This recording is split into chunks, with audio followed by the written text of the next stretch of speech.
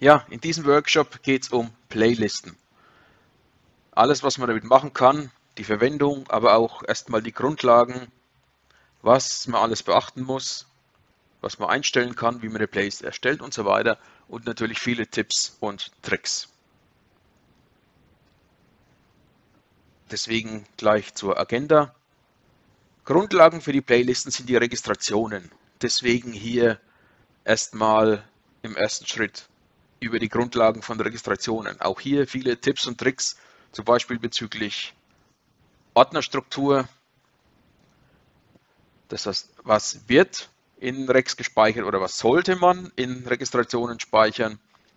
Auch hier, es fällt immer wieder der Begriff Grundeinstellung oder Start-Rec, Stadtregistrierung oder dann eine bestimmte Song-Registration. Alles dazu, weil das ist die Grundlage für die Playlisten. Dann im nächsten Schritt eben direkt zu den Playlisten. Auch hier Grundlagen, das heißt, was ist eine Playlist, was macht die überhaupt und wie erstelle ich eine Playliste und einen Playlist-Eintrag und mögliche Einstellungen, die man da dabei machen kann. Dann viele praktische Tipps zu den Playlisten. Hier zum Beispiel, man kann verschiedene Playlisten anlegen, zum Beispiel Listen mit allen Registrationen darin, als allgemeine generelle Liste und man kann daraus wieder spezielle Listen äh, machen, wo man die Registrationen zum Beispiel aus den allgemeinen Listen einfach herauskopiert in spezielle Listen. Dann der Name des Playlist-Eintrags, hier kann man auch viel Information reinschreiben. Was kann man da machen? Zum Beispiel als Trainer oder als Überschrift. Das werde ich dann zeigen. Wie editiert man Playlisten? Und da ist erstmal die Frage, was ist das Format einer Playlist-Datei? Bearbeitung kann man mit Excel machen, ganz, ganz einfach. Es gibt auch andere Tools, die ich nur kurz zeige. Basis für Playlists sind Registrationen. Deswegen wollen wir hier beginnen mit den Grundlagen zu den Registrationen. Zum Beispiel, was wird gespeichert und was nicht, so als Einstieg. Wenn wir uns Rec Memory ansehen, wenn wir die Taste drücken, sehen wir hier verschiedene Haken und verschiedene Bereiche, die gespeichert werden können. Und eine Registration ist nichts anderes als Einstellungen des Keyboards, die darin gespeichert werden. Und jetzt ist die Frage, was kann gespeichert werden? Und es wird eben mit diesen Haken beim Speichern der Registration festgelegt. Also die Voices, Styles, MIDI-Songs, Audio-Songs, Multipads und so weiter, wie man hier sieht. Also viele, viele Sachen. Aber im Detail steckt hier zum Beispiel hinter dem Style auch noch viel mehr. Also nicht nur der Style selbst, sondern eben es wird zusätzlich zum Style noch einiges gespeichert. Mit dem Style-Haken. Und das ist eben die Besonderheit bei so einer Auswahl. Wenn wir uns den Style mal anschauen, mit dem Style wird eben gespeichert die Style Voices, die Left Voice, Left Voice On-Off, also ob die an- oder ausgeschaltet ist und Left Hold, dieser Knopf, die Einstellung. Der Splitpunkt Left und vom Style und Accompaniment On-Off. Systemeffekte, das ist wichtig, die werden mit dem Style gespeichert. Chorus und Reverb und Hall für das System. Die Akkorderkennung, also der Typ der Akkorderkennung, Fingering Type. Style Settings, aber auch hier nicht alle Einstellungen. Und die Mixer-Einstellungen zum Style natürlich, also das Volumen, Panorama und Effekte, Effektanteile und so weiter. Die werden mit dem Style-Haken zum Style dazu gespeichert. Also nicht nur der Style. Also solche Einstellungen hier zum Beispiel. Splitpunkte, Left und Style. Zu einer Voice wird zusätzlich mitgespeichert auch ein Splitpunkt von R von rechts 3 und die Oktavlage. Voice Settings, die man hier sieht, die Voice Edit Einstellungen und natürlich die ganzen Mixer-Einstellungen der Voice. Also auch hier wieder Panorama, Hallanteile, Volumen, Equalizer-Einstellungen und so weiter. Also mit dem Voice-Haken werden zusätzlich zur Voice noch mehr Parameter gespeichert. Es werden aber auch Sachen nicht in der Registration gespeichert, wie zum Beispiel MIDI-Einstellungen. Die werden wie User-Effekte nur im User-Speicher abgelegt. Wenn man die sichern will, dann muss man hier die Backup-Funktion benutzen. Genauso wie MIG-Einstellungen.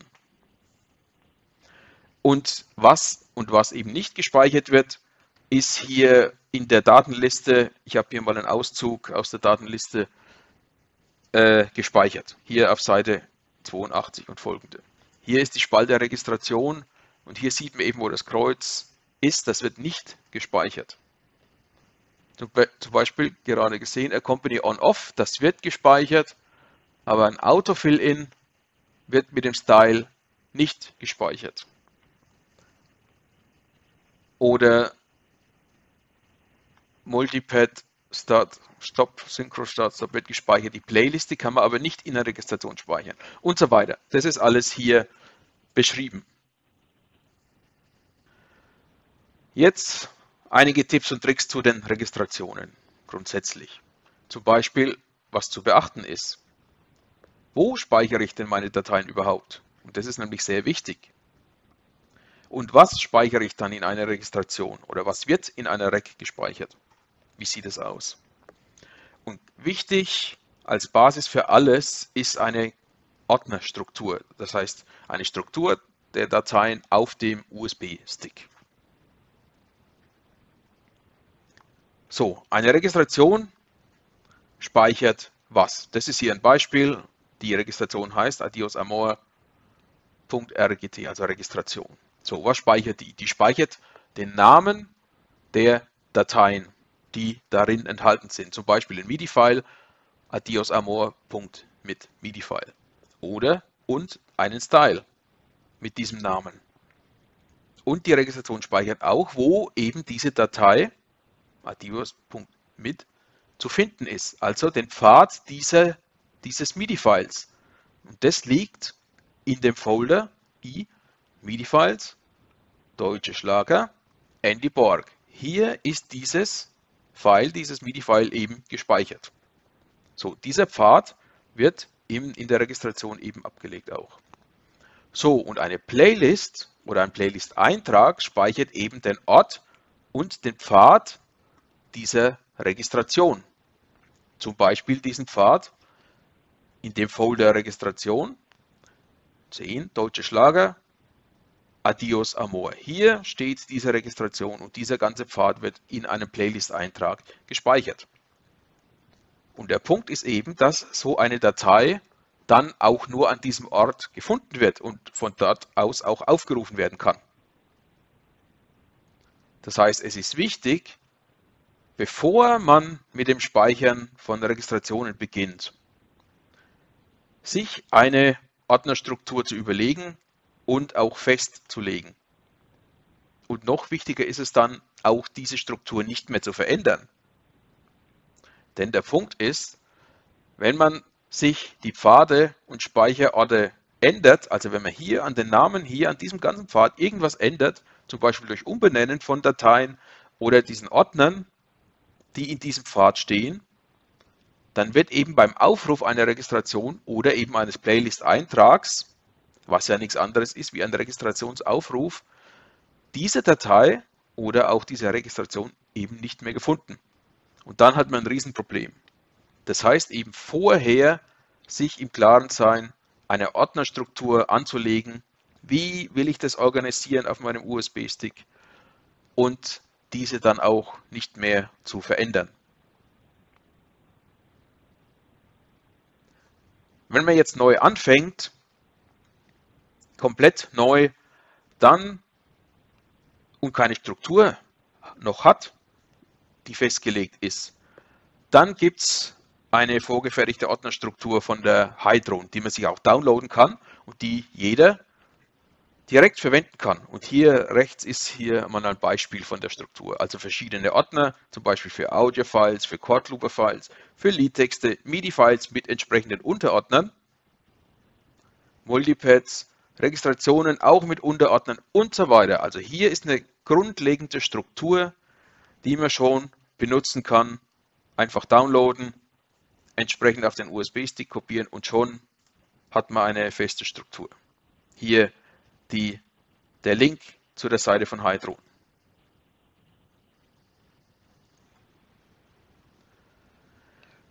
Hier ist ein Beispiel meiner Ordnerstruktur. Ich habe also auch hier ein Arbeitsverzeichnis, wo ich zwischendurch mal Files ablege und so weiter. Einen Folder für Audio-Files, für MIDI-Files, Ensemble Voices, Multipads für Playlisten, Registrationen, Styles und so weiter. Texte. Ganz normal mit verschiedenen Unterordnern, die sehen wir dann gleich noch.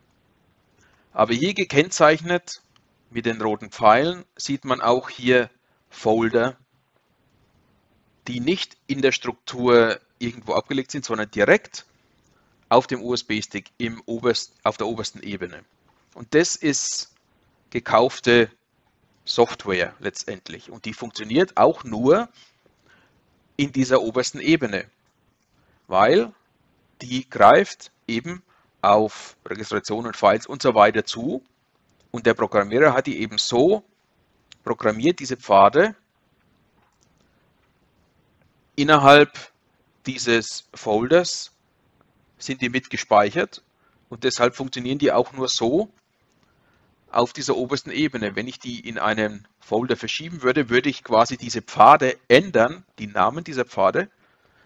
Und deswegen, wie eben beschrieben, würden diese Pfade, sprich die Dateien, die da aufgerufen werden sollen, nicht mehr gefunden werden. Deshalb funktioniert meistens solche gekaufte Software nur auf der obersten Ebene. Wenn wir jetzt mal weiterschauen in meine Struktur, hier zum Beispiel in den MIDI-Files habe ich Unterstrukturen mit äh, Genres. Ich habe das nach Genres geordnet, mehr oder weniger. Und in den Genres sind dann die Interpreten aufgeführt und so weiter, da wo die MIDI-Files dann selbst gespeichert sind. Hier meine Playlisten, die hier in dem Playlist-Ordner abgelegt sind. Da kommen wir dann später drauf. Registrationen auch mit den entsprechenden Unterordnern. Auf diese Registrationen hier oben werden wir noch kommen. Die sind eben spezielle Registrationen, sogenannte Stadtregistrationen oder Grundeinstellungen, die ich verwende. Jetzt zu einem Thema, kommt immer wieder auf, was sollte man speichern in einer Registration? Jetzt gibt es, wie schon erwähnt, auch sogenannte Stadtregistrationen, also Grundeinstellungen, die man sich speichern kann und sollte, spezielle Einstellungen und Einstellungen für eine Songregistrierung, speziell für einen Song oder Titel. Und das zeige ich jetzt mal. Stadtregistration, wie schon erwähnt, das ist quasi eine Grundeinstellung des Instruments, mit dem ich dann starte und von dem aus ich weitere Einstellungen und Registrationen erstelle. Stadtregistration, was sollte man da speichern? Wie gesagt, generelle Einstellungen, die dann normalerweise, normalerweise nicht mehr verändert werden pro Song. Die bleiben quasi bestehen. Wie zum Beispiel die ganzen Schaltereinstellungen und Regler, Fußschaltereinstellungen, die Scale- und Tuning-Einstellungen oder Line-Out-Einstellungen. Normalerweise ändert mir die nichts mehr während einer Song-Registration. Wenn man das unbedingt will, dann natürlich kann man es ändern, aber im Allgemeinen bleibt das alles bestehen. Genauso wie eventuell Splitpunkt, die Akkorderkennung, die Fingering-Einstellung und bestimmte Vocal Harmony-Einstellungen.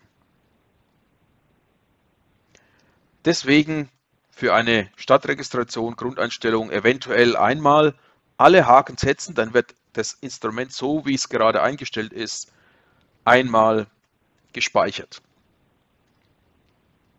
Und so eine Grundeinstellung, so als kleines Beispiel, kann man vielleicht so sehen. Einmal eine Grundeinstellung zum Spielen alleine und eine andere Grundeinstellung zum Spielen in einer Band, zum Beispiel mit speziellen Line-Out-Einstellungen, dass verschiedene Kanäle quasi über Line-Out zum Mischpult separat geschoben werden. Das braucht man, wenn man alleine spielt, normalerweise nicht. Also gewisse Grundeinstellungen von dem Instrument, die normalerweise nicht mehr verändert werden. Und jetzt als Beispiel zeige ich mal meine erste Grundeinstellung, also meine erste Startregistration. Die enthält äh, alle Assignable Button Einstellungen, Live Control Settings, also alle Regler und, und Knöpfe, die ich programmieren kann. Einmal eingestellt, meine Fußschalter-Einstellungen, einen Style, damit ich den Splitpunkt und den Akkorderkennungstype, den Fingering-Type speichern kann. Steckt alles in einer Startregistration. Und auch meine User Vocal Harmony Einstellungen, einmal mit einem Reverb als Effekt und einmal mit einem Delay. Dann auch die Line-Out-Einstellungen, die da mit drin stecken. Und auch hier zwei verschiedene. Einmal für intern, sprich das Mikrofon über Genos direkt angeschlossen. Und einmal extern. Das heißt, ich schicke über Line-Out das Mikrofon zum Mischpult. Was ich auch immer mache, ist für MIDI und Audio setze ich ein leeres MIDI und leeres Audio-File ein, ein Empty MIDI, Empty Audio. Das zeigt mir quasi an, ich habe kein MIDI-File, kein Audio-File geladen. Das ist eben leer. So habe ich das immer im Display im Blick. Hier sieht man ja, meine Startregistrationen und hier schauen wir uns mal eine an eben. Hier im Display. Wie gesagt, kann man aufrufen und dann mit einem Druck wird die Grundeinstellung von dem Instrument eben vorgenommen. Und es sieht so aus, einmal für intern, wie gesagt, einmal für extern, hier die, die äh, andere Line-Out-Einstellungen, sprich Mikrofon geht separat. Dann sieht man hier einmal die Einstellung mit Vocal Harmony und einem Delay. Hier sieht man Empty MIDI, Empty Audio, so, also das sind quasi leere, ein leeres MIDI-File, ein leeres Audio-File, nur um anzuzeigen, da wird kein richtiger Song eben geladen.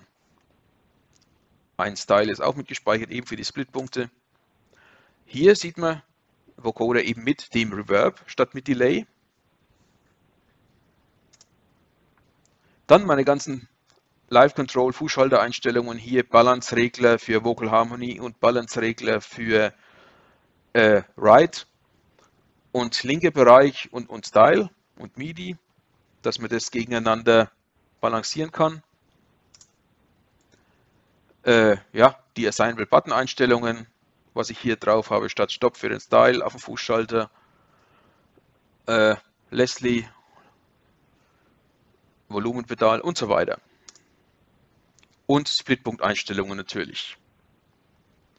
Das ist eine Grundeinstellung, die ich verwende. Eine zweite ist, und da steckt jetzt nur Vocal Harmony drin. Alles andere wird hier nicht gespeichert oder nicht verändert. Ich rufe nur meine eigenen Vocal Harmonies auf mit Reverb einmal und mit Delay.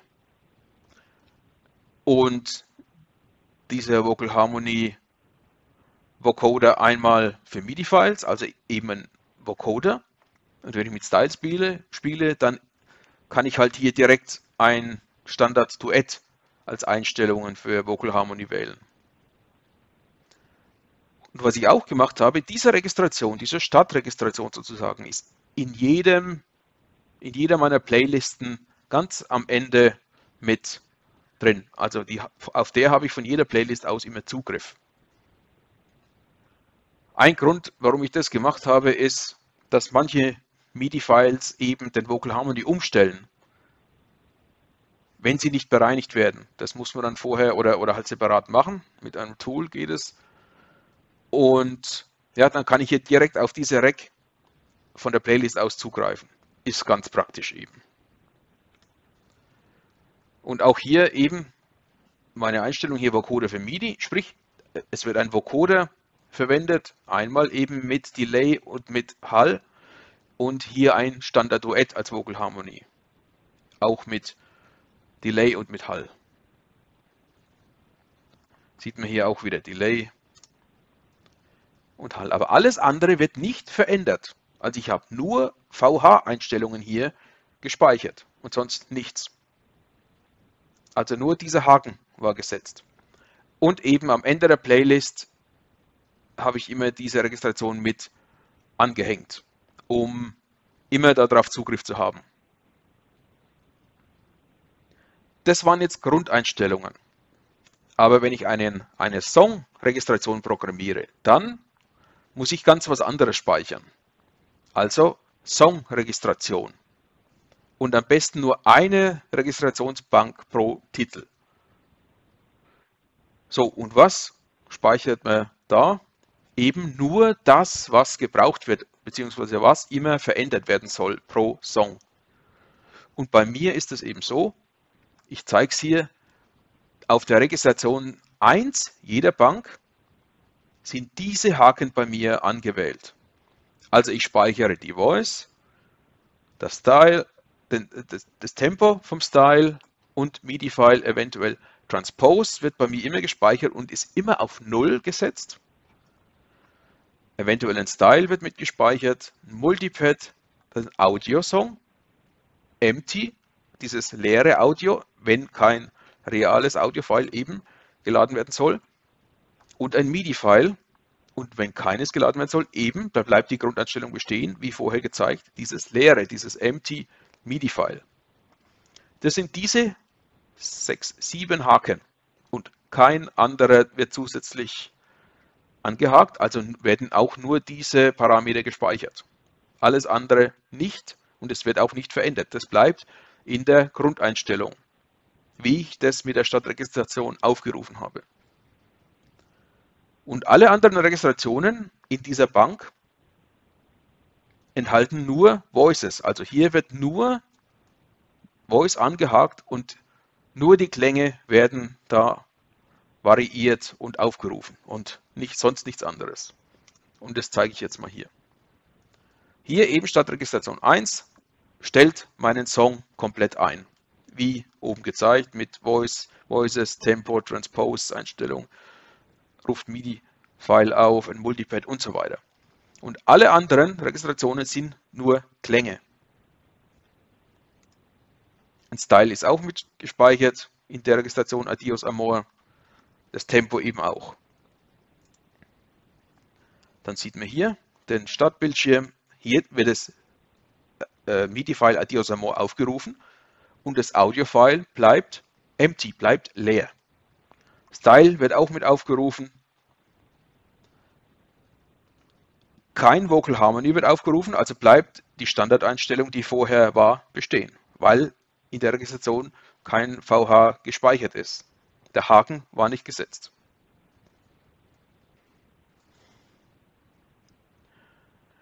Das Thema Registrationen ist jetzt abgehandelt. Das ist nämlich die Grundlage, um überhaupt mit Playlisten zu arbeiten. Und jetzt zu dem Thema Playlisten. Hier nochmal die Agenda eben, was zu den Grundlagen, was ist eine Playlist eigentlich, wie erstelle ich einen Eintrag und dann viele praktische Beispiele dazu und Tipps und Tricks. Und das erste Thema ist eben, was macht und was ist eigentlich die Playlist? Und wie erstelle ich einen Playlist-Eintrag oder überhaupt eine Playlist? Das schauen wir uns jetzt mal an hier.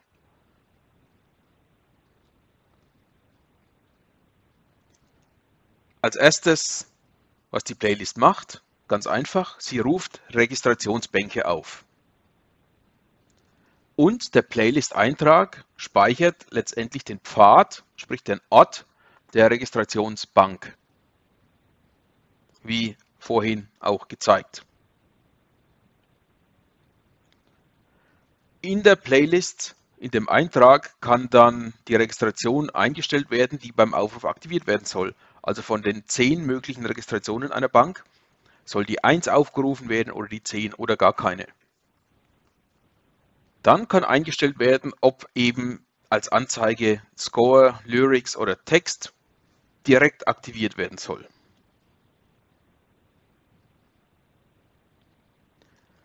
Der Name des Playlist-Eintrags kann editiert werden. Man hat maximal 50 Zeichen zur Verfügung, aber man sollte aufpassen, wenn man Sonderzeichen verwendet. Grundsätzlich. Die Einträge können beliebig sortiert werden, nach oben, unten geschoben werden. wo das am besten, besten eben passt. Und eine Registration, eine Bank, Registrationsbank, kann eben in mehreren Playlisten verwendet werden und das ist ein Riesenvorteil. Denn ändert man den Inhalt einer Registrationsbank, nicht den Namen dieser Bank, sondern den Inhalt dieser Bank, dann wird diese neue Registration, sprich der neue Inhalt eben, in allen Playlisten aufgerufen, in denen diese Registrationsbank eben verwendet wird. Also Registrationsbank nur einmal ändern und schon in allen Playlisten wird die aktualisierte Registration verwendet. Ganz einfach.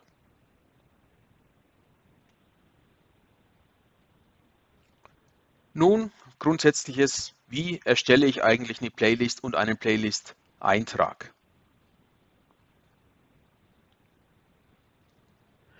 Wenn man hier in der Playlist sich befindet, dann kann man eine neue Playliste erstellen, wenn man hier auf New, auf den Button New klickt. Dann hat man eine leere Playliste. Keine Einträge, komplett leer und kann dann nach und nach ähm, Einträge dazufügen, Registrationen dazufügen. Oder man lädt einfach eine vorhandene Playliste, indem man hier auf das Namensfeld klickt und kann sich dann die entsprechende Playliste, die gespeichert ist, aufrufen und weiter bearbeiten.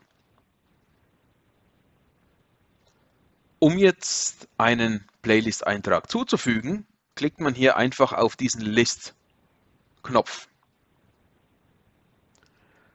Dann wählt man sich die Registrationen aus, die man anhängen will. Also man wählt vorher einen Ordner, wo meine Registration drin ist, die, man, die ich anhängen will. Und dann kann man entweder eine oder mehrere Registrationen hier aus diesem Fenster direkt anwählen. Eine oder eben mehrere gleichzeitig.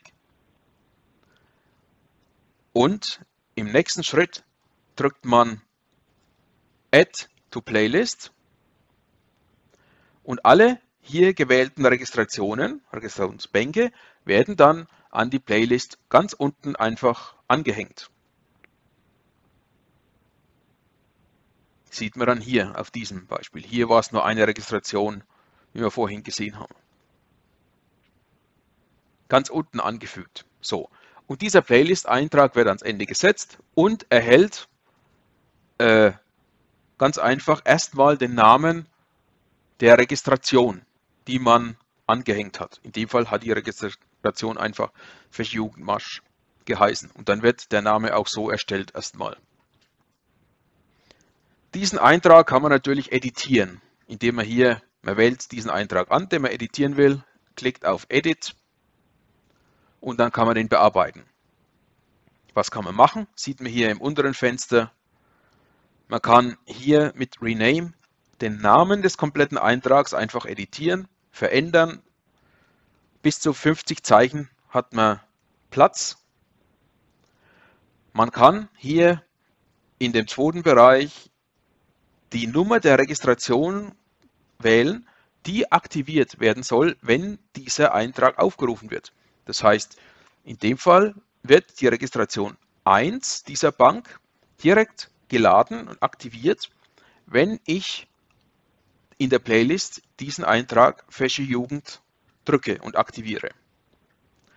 Ebenso kann man hier noch wählen, ob Score angezeigt werden soll, Lyrics oder ein Textfile. In dem Fall ist hier nichts angewählt.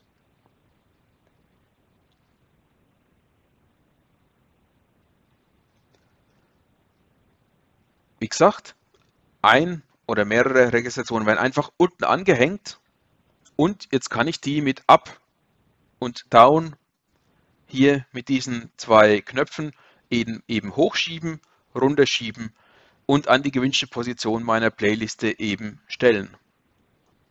Das ist einfach nur ein Verschieben.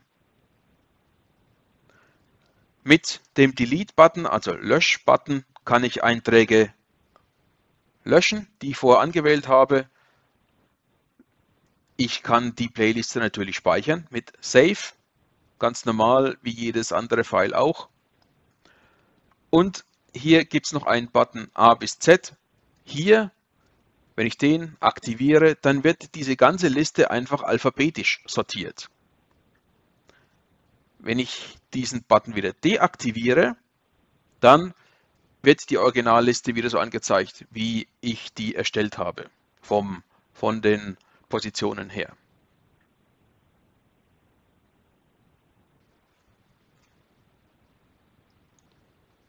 Jetzt gehen wir mal in die Details der Playlist und ich zeige euch einige Tipps und Tricks äh, für die praktische Arbeit mit der Playlist-Funktionalität.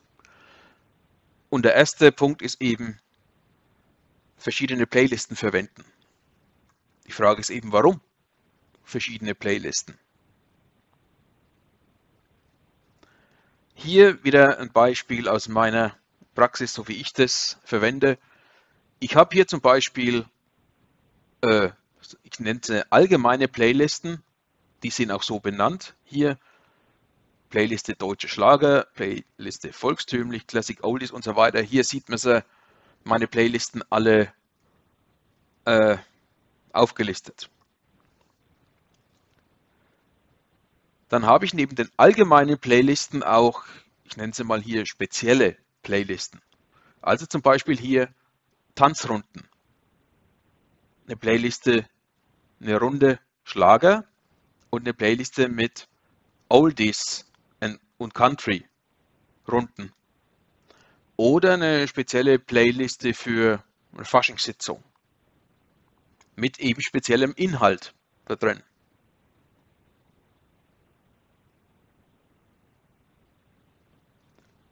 Und jetzt kann, können natürlich die Registrationen und sind auch in verschiedenen Playlisten enthalten. Sprich, in der allgemeinen Playliste ist zum Beispiel äh, der Eintrag Adios Amor und genauso ist der in der Runde Schlager enthalten.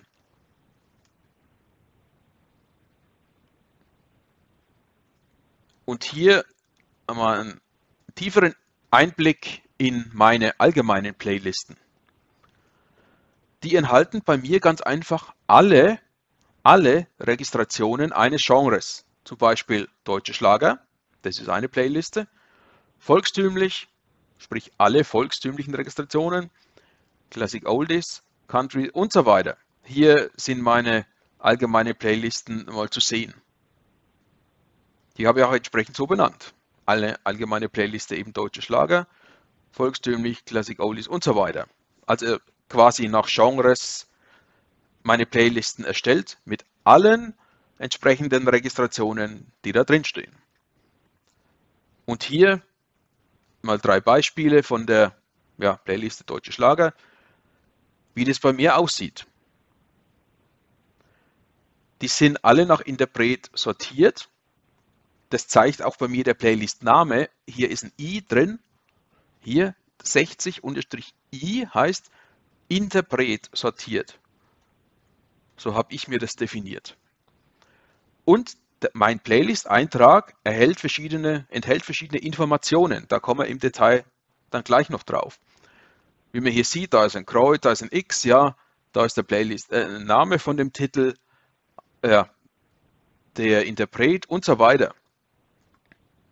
Mal ist die Registration angewählt, die aufgerufen werden soll, oder auch Score, oder manchmal nicht, manchmal ist gar nichts drin.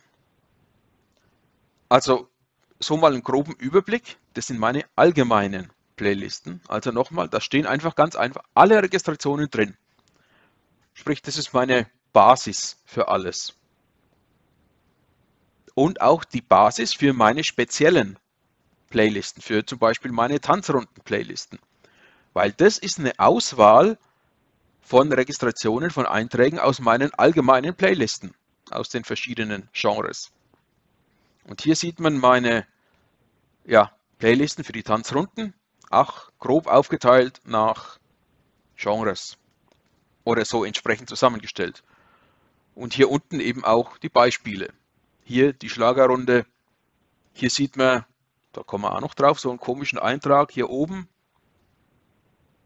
Dann sieht man 1, 2, 3, 4, 5, 6, 7 Titel, die folgen und dann wieder so eine Art, wie will ich sagen, Überschrift. Da kommen wir dann auch drauf, was das im Detail bedeutet. Und auch hier wieder natürlich der Name des Titels, Interpret und viele andere Informationen, wo wir gleich noch im Detail drauf kommen. So sehen also für mich meine Tanzrunden, meine speziellen Playlisten aus. Das ist einfach ein Teil rausgenommen aus den allgemeinen Listen.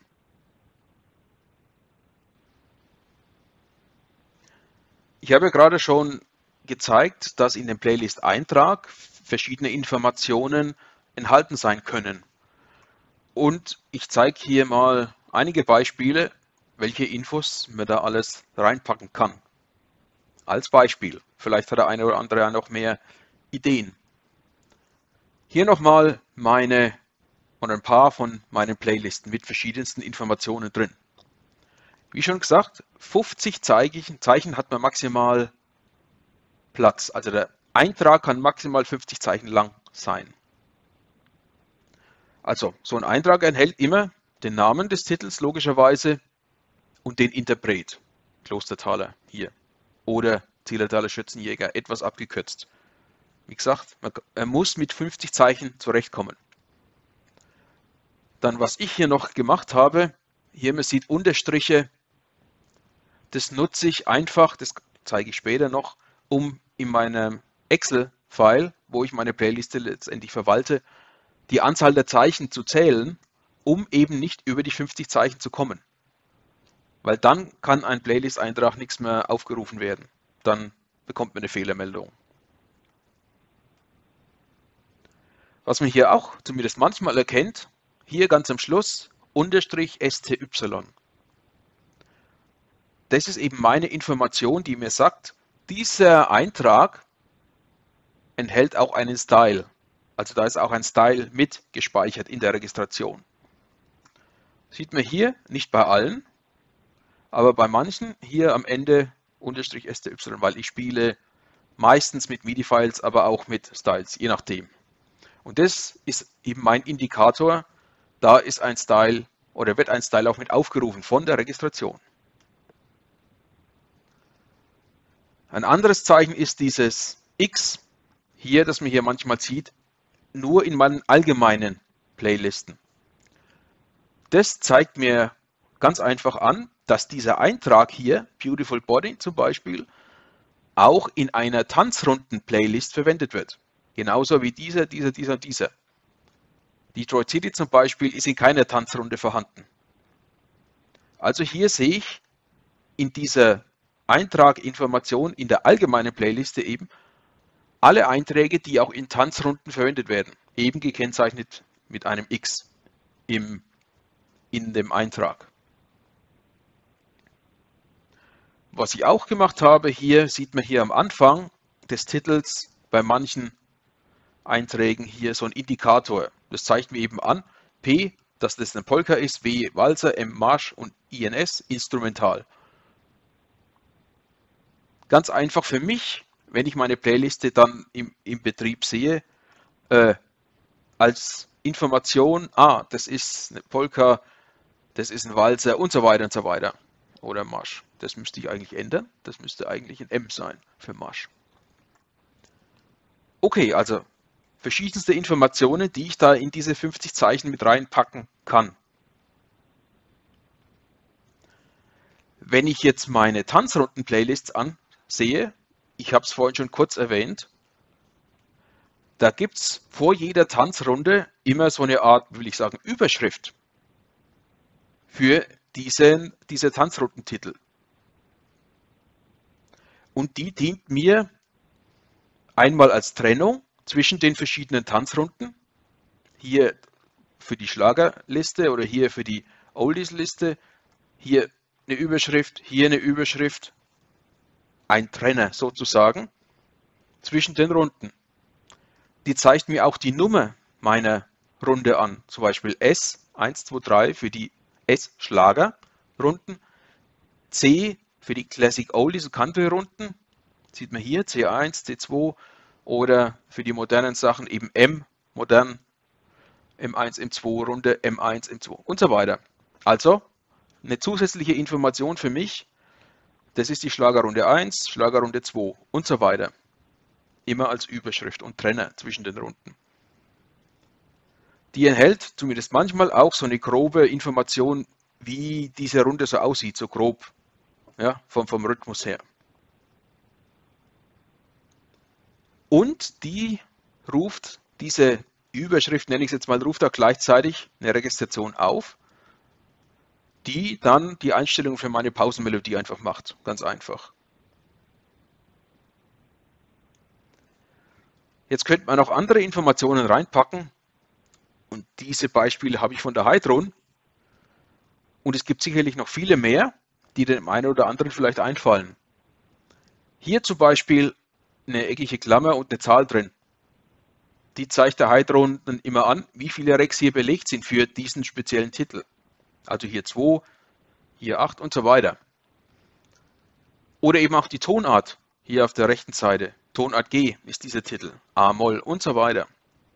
Oder hier, sie hat es auch so gemacht, eine, ein Eintrag als Trennung sozusagen und in dem Falle verschiedene Rhythmustypen hier. Das sind alles Wiener Walzer, das sind alles Foxtrots und so und so weiter. Also das sind alles Möglichkeiten, welche Information man in so einen Playlist-Eintrag reinschreiben kann, damit man, wenn man seine Playliste sieht und verschiedene Sachen aufrufen will, zusätzliche Informationen hat, um was es da geht. Zum Beispiel Tonart und und und. Was halt für mich im Betrieb persönlich wichtig ist oder von Vorteil ist.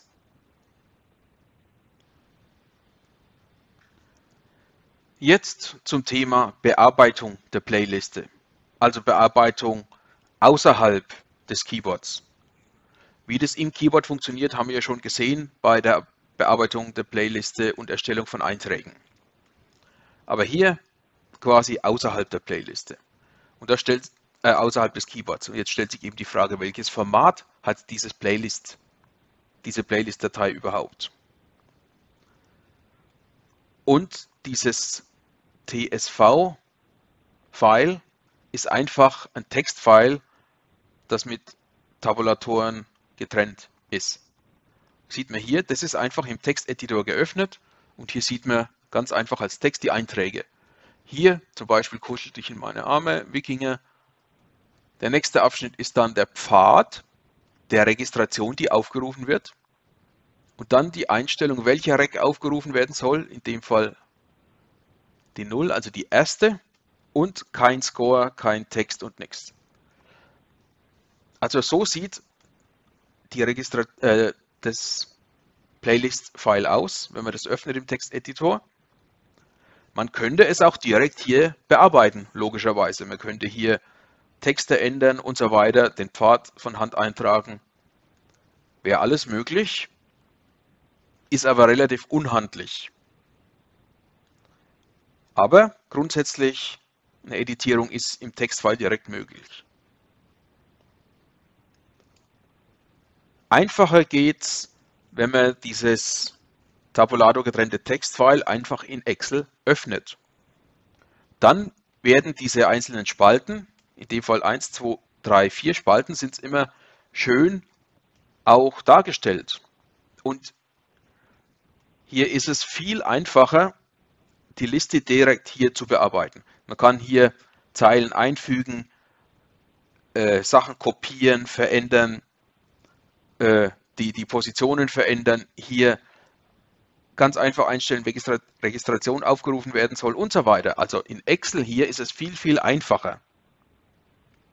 Also man ruft es auf, da direkt in Excel, verändert es und speichert das einfach direkt wieder ab.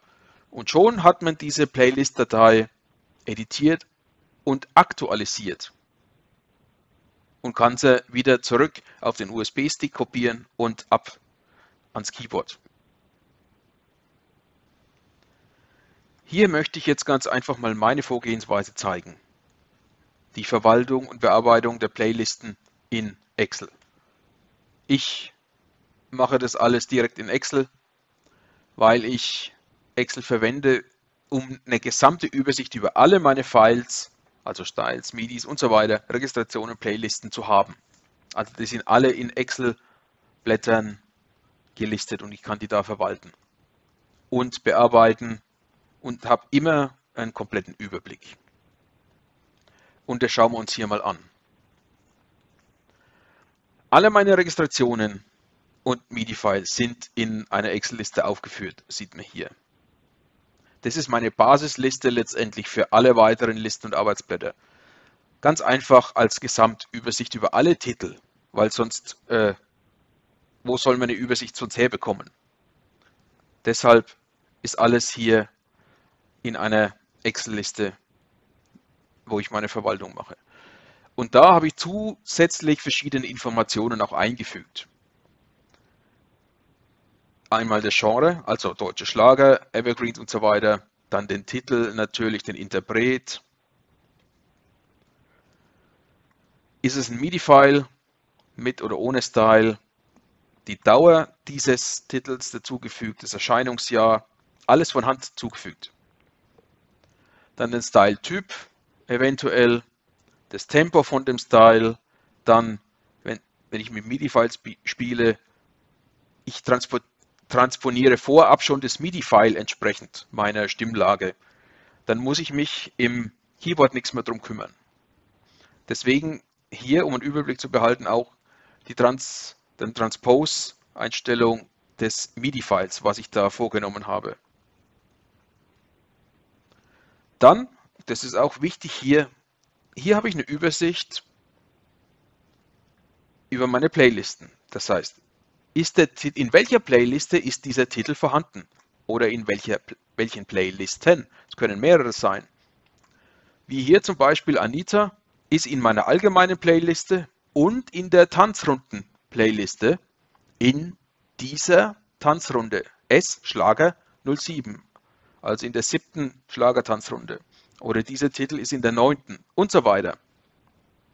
Und ob ein Text auch vorhanden ist als PDF.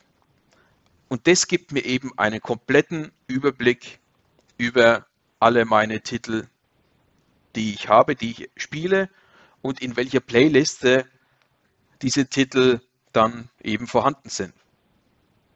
Das File ist natürlich auch gewachsen über die Zeit, aber das hilft gewaltig. So, das ist jetzt mein Überblick über meine Titel. Hat noch nichts mit Playlisten in dem Sinne zu tun. Playlist-Bearbeitung. Das zeigt mir nur, welcher Titel in welcher Playliste zu finden ist. Und jetzt eben zur Verwaltung einer Playliste. Ich habe es ja vorhin schon gezeigt. Man kann dieses Playlist-File einfach in Excel öffnen, bearbeiten und direkt wieder speichern. Das ist die einfachste Möglichkeit. Dann ist man auch relativ schnell fertig. Ich mache das zum Teil auch so. So, grundsätzlich die ursprünglichen Playlisten, die ich, die ich erstellt habe, sind ganz einfach am Keyboard erstellt. Sprich, ich habe meine Registrationen alle in die entsprechende Playliste eingefügt. Sonst habe ich nichts geändert. Der Rec-Name wurde einfach übernommen, keine weiteren Änderungen. Diese Änderungen habe ich dann erst im Excel gemacht, also dass ich diesen Playlist-Eintrag entsprechend geändert habe. Das ist hier viel komfortabler als das alles am Keyboard zu machen. Keyboard ist viel zu umständlich dafür, aus meiner Sicht, meiner persönlichen Sicht. So, die Playlisten wurden dann entsprechend verändert und, und verwendet. So, wenn ich jetzt eine Playliste ändere, ändern will, so, dann, wie gesagt, lade ich die einfach in Excel. Ich kann die kurz ändern und direkt wieder speichern, alles kein Problem. Aber ich will die ja in meinem allgemeinen Excel-Sheets verwalten, eine Übersicht haben. Also ich kopiere mir dann diese Playliste, die ich geöffnet habe, raus und kopiere die dann in mein allgemeines Excel-File, wo ich meine Verwaltung machen will. Da kann ich meine Einträge dann ändern, zufügen und so weiter und so weiter, alles Mögliche machen, Positionen anpassen am Schluss, wenn ich fertig bin, kopiere ich diese veränderte Liste einfach wieder raus und füge sie hier in dieses Originalfile wieder ein, damit es überschrieben wird. Die kann ich dann wieder abspeichern. Dann ist die Originalliste überschrieben mit den neuen Werten, mit, den, mit dem neuen Inhalt und aktualisiert und dann kann ich mit der wieder zurück ins Keyword gehen. Der Vorteil dieser Vorgehensweise ist eben, ich habe diese, diese Playliste eben rauskopiert und hier in mein Excel-Sheet eben eingefügt. Da habe ich eben auch immer quasi meine Kopie dieser Playliste in, meiner, in meinem Excel-Blatt. Einfach von der Excel-Liste vom Genos rauskopiert und hier rein. Und dann kann ich die Daten eben zusammenfügen aus meinem Übersichtsblatt. Hier zum Beispiel kommt dann mit rüber die Dauer, die wird automatisch von diesem Titel dann aus dem allgemeinen Blatt rausgelesen. Oder eben das Erscheinungsjahr, das Tempo vom Style und, und, und. Das hat alles nichts mit der Playlisten zu tun an sich. Nur dieser Teil ist eben die Playliste. Die wird editiert und wieder in das Original Playlist-File zurückkopiert und fertig. Alles andere wird quasi von dem Excel ähm, gemacht, automatisch gemacht, um für mich eine bessere Übersicht zu erhalten. Ja, wie, welche, wie schnell ist der Titel, welchen Style hat er, wann ist er erschienen und so weiter. So, zusätzliche Informationen einfach für mich. Und die werden eben aus dem allgemeinen Excel-File rausgelesen. Und genauso funktioniert es mit dieser Tanzrunden-Playliste. Der Vorteil von dieser Vorgehensweise ist eben, ich kann aus der allgemeinen Playliste einfach die Titel rauskopieren und hier in die Tanzrunde einfach einfügen. Und damit habe ich schnell aus der allgemeinen Liste meine Tanzrunden erstellt. Copy, Paste, Copy, Paste. Also kopieren, einfügen, kopieren, einfügen und an die richtige Stelle setzen. Fertig. Dann kopiere ich mir diesen Playlist-Inhalt wieder raus und kopiere es zurück in die Original-Playliste und gebe die an den Genus. Und schon habe ich meine aktualisierte Playliste. Und auch hier werden eben gewisse Daten hier von dem allgemeinen Excel-Blatt wieder rausgelesen, um die Information von Erscheinungsjahr, Dauer und so weiter zu haben.